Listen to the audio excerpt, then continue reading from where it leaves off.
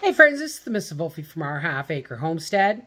Now, do you remember last year when I collected my yellow, uh, my yellow pole bean seeds and my green string bean seeds? Well, when I planted them this year, I got a hybrid.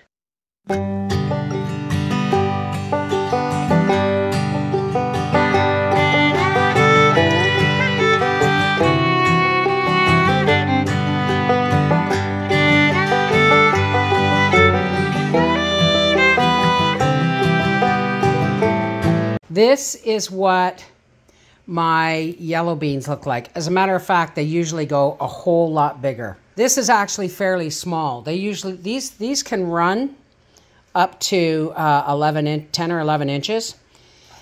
These are my yellow pole beans. They're a flat bean that I just absolutely love. And I got these sent to me from a friend in Poland uh, several years back. Well, last year I saved the seeds from these and from seed mixed seeds from my uh, green beans, my bush beans. These are a pole bean, these are a bush bean. But look, because I saved my seeds last year and they cross pollinated, I now have a green pole bean. It's thicker than the yellow bean, but just as long, and it's green. Wild, eh? Okay, folks, here are marigold heads. This is just a little thing that um, herbs came in from the grocery store we are getting for my green cleanse. Now look, folks, I want to show you this. All right, and these are still growing out there. Don't pick them unless they come off in your head. This is a, a, a French marigold seed head. This was the flower and when the flower is done, these fall off and then they go boom into your garden. These are marigold seeds right here. So I'll give you a better example. Look, here's a better example. Look. See how black they are at the bottom? That's the seed, guys. So I harvested these for next year don't pick them if the flower heads are still on them and you can't just pinch them off. I say they didn't protect my cabbage, but honestly, folks, they did. Because we've got several large cabbage that were in really beautiful shape. So, I mean, they wouldn't even have gotten that far without the marigolds. You know what I mean? So, I'm just picking these apart. That's a perfect example right there. That's the inside. The bottom or the flank, phalanx, or whatever it is that goes up under the flower is where the seeds are. See, the flower just kind of dies off, and then you just pull these seeds out. All right, that is plenty of marigold seeds for next year.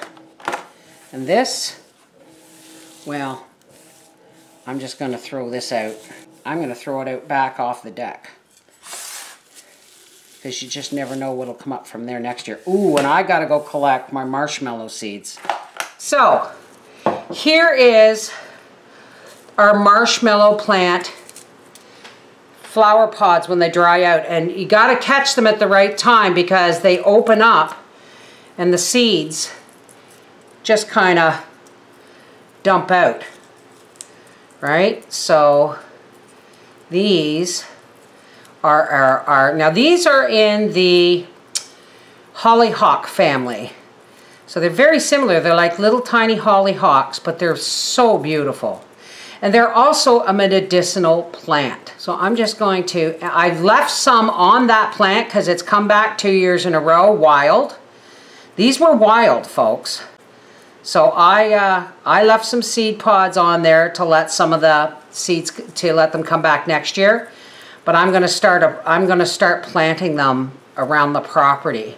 Now, I was going to put these in a little plastic envelope, but they're not completely dry dry, so I'm going to put them in a paper envelope. And like I did with the marigolds, pods and stuff, I'm just going to throw this out over the deck in the direction of where I uh, pick these. I'm going to throw these in over the deck.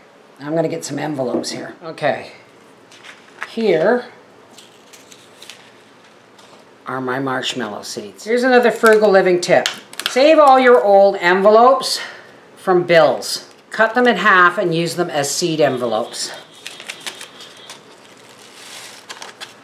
Okay. Gonna put a little bit around the end here so nothing comes out. Marshmallow. Okay. This is a lot of seeds, but that's okay because they'll fit in here. French marigold. This is the Mrs. Wolfe from our half acre homestead saying seed saving may give you hybrids sometimes when, it, when you plant different beans with different beans, but that's okay. You're still going to get beans. But don't forget your herbs and flowers too. Hopefully next year I won't have to buy the marigolds for my garden. I can grow them. Making that quarter another nickel. Mwah! Take care, God bless.